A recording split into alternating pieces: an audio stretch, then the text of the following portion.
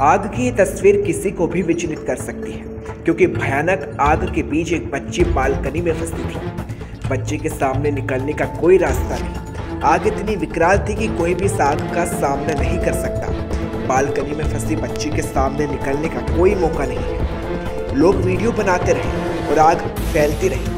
बच्ची ने आखिरकार ज़िंदगी से हार मान ली और आग की चपेट में आने से बच्ची ने दम तोड़ दिया। शनिवार सुबह अहमदाबाद के पौष कॉलोनी शाहीबाग में आग फैली। बिल्डिंग की सातवीं मंजिल पर अचानक आग लगी।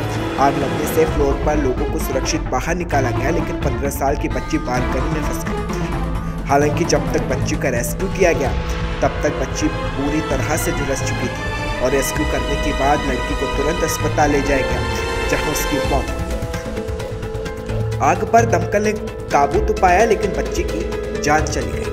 हालाँकि आग क्यों लगी ये पता नहीं चल पाया है।